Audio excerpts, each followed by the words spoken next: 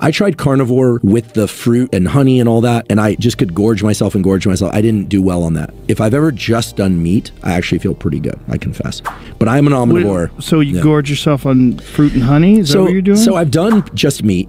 And I felt mm-hmm. pretty good to great. I mean, you feel lighter, you definitely lose weight, you're holding less water. what helps people with things like the carnivore diet or something like that, what helps them is with satiety. Like there's something about carbohydrates. It's a, they're so good. You want to keep eating them.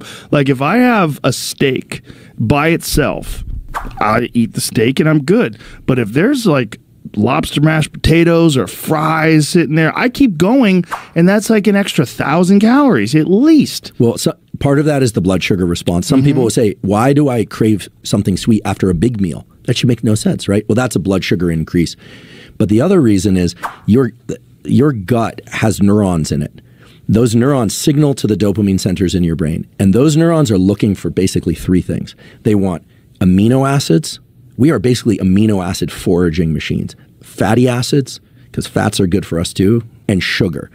And when you get enough steak, you're getting enough amino acids and fatty acids, and that signal is sent to your brain, and a pathway shuts down that says, I need more.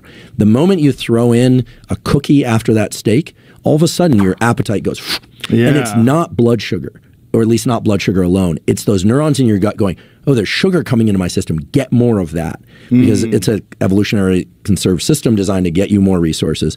So this is why if you look at your gut brain axis as yes, there's a microbiome and that's important too, but if you think about it as it's sensing things independent of taste, it's actually looking for specific nutrients. Then I think if people forage most for high quality protein, and high quality fats, it's kind of obvious that that's the best way to, to build the, the basis of your diet. Mm. And then carbohydrates on a kind of as needed basis, Yeah. right? If you're doing a lot of weight training, depleting glycogen, et cetera. So that's where I think there's a place for low or zero carbohydrate diets.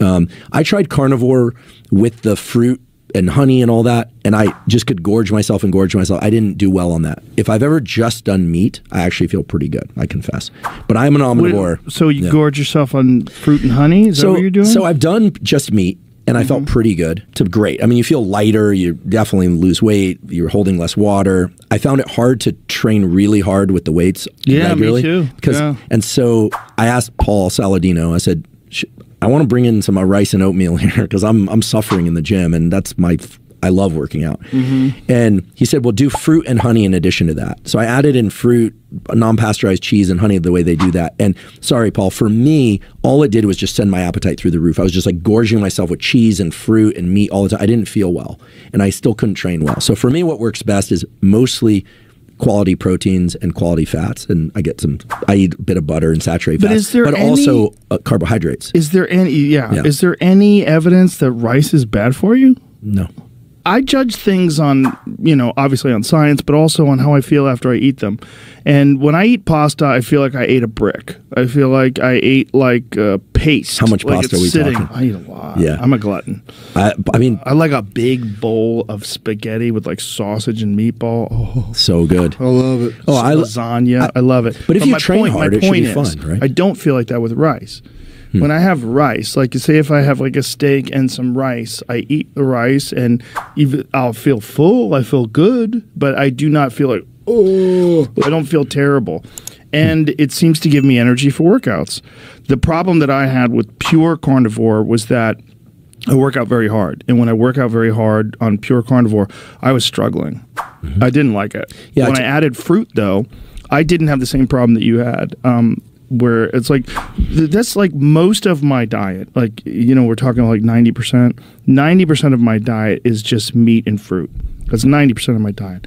I I'll eat a salad if I feel like eating a salad. I enjoy salads, but I always make sure that I'm only putting uh, olive oil and balsamic vinaigrette. That's all I use. I don't use like bullshit salad dressings because they're all filled with seed oils. and sugar Yeah, it's all garbage. It's like it's, so many people think they're eating well, and like, my God, you have 500 calories of fucking nonsense on your salad. That you know, and it's like it's not good for you. Yeah, you and I eat pretty similar. I do eat rice, oatmeal, typically after I train. And in the evening, I like some carbohydrates for my meal because it helps me sleep. You know, Layne's made it very clear by pointing out the data that carbohydrates aren't going to disrupt your ability to burn fat, right? It's about keeping cal- calories in Yeah, check. calories in, calories, Calories- out. yeah. Lane is very specific about that, and I think he's absolutely right. You know, the, there's so many people that have these ideas that if you eat carnivore, you burn fat because of no, you eat less calories. Yeah. you get satisfied quicker. You eat less calories. Well, And- I, I have one idea that I'm hoping someone will test, which is when you're on a low carbohydrate diet or you're doing intermittent fasting, one thing that's very clear is that your adrenaline and nor, noradrenaline, epinephrine levels are higher. And one of the things that you see is that people are more alert, and when they're more alert, they move more. And that brings us back to NEAT, this non exercise induced thermogenesis. As you said, you eat a big bowl of pasta and it tends to make you feel kind of sedentary. Oh, yeah. Whereas when you just eat meat, you can go, go, go. Yeah. I, I um, uh, ran into Jordan Peterson not that long ago, and you know he's really big. He does three steaks a day, and he- not just for his age, he he looks very fit, and he feels strong. Now I, I don't know what he's doing in the realm of training. I don't training. think he lifts weights. I Exactly. So I don't think he has to replenish glycogen the same way many Yeah. people do. But I think for people who are doing mostly cardiovascular exercise, some resistance training, I think he does some. The the carnivore thing may work very well. But I think that also just being a mobile, moving person. And you know, this thing about NEAT was discovered because they noted that people that were very thin tend to move a lot. It was a reverse correl. It was kind of correlation in both directions. Whereas people who are larger tend to be pretty sedentary and they move slower. I think the one of the best examples online, at least, of someone who's on a pure carnivore diet who's very active is Shawn Baker. Oh yeah, Yeah, and Shawn Baker's just, I mean, he regularly posts his workouts. He's 56 years old. I mean, he's doing heavy deadlifts and he he holds world records for rowing. I mean, he's like a serious power based athlete who only eats steak. That's all he eats. He doesn't incorporate organs. He doesn't do anything else. I mean, I don't know if he's taking any vitamins or minerals, but I mean, most of what that guy eats is steak. he looks he looks super fit. Great. He's Yeah. very fit. I know a number of um, uh, police officers and firefighters are doing that now because this, a lot of their job, especially police officers, is sedentary, and then it's go go go. Um, and they they seem to like that. There's a study on intermittent fasting that was done by Satchin Panda's lab out of the Salk on firefighters that because their schedules are crazy, and that being a night owl and then swing shifts is just terrible, wreaks havoc on your metabolic system. I mean, it's just one of the quickest ways to make yourself ill, but we need shift workers, right? So the intermittent fasting and these more, let's just call them elimination diets, where it's mainly carnivore, really help them those communities stay fitter and more active. There's a guy on Instagram. I, I don't I don't know his name, but I love his police posts. He has he shows Yes, yeah. amazing. Yeah, I follow him. And he sometimes puts up this post. I love these ones. Uh, I do see how intense that job is, and like wow.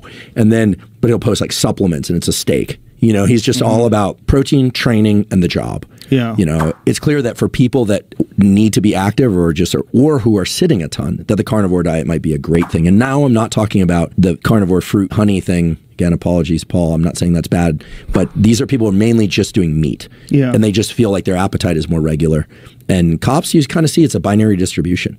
They're either really fit or they're really unfit. Yeah. And it, and listen, it's got to be an incredibly hard job. Firefighters, the fitness part, it seems a little bit more aligned to like working out at the station and things like that. In any case, um, They have a lot more downtime. they have a lot more downtime. yeah.